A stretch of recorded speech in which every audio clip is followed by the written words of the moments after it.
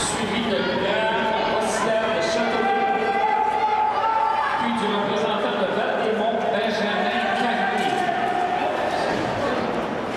Chute dans le sans conséquence. Alors, avec un tour à faire,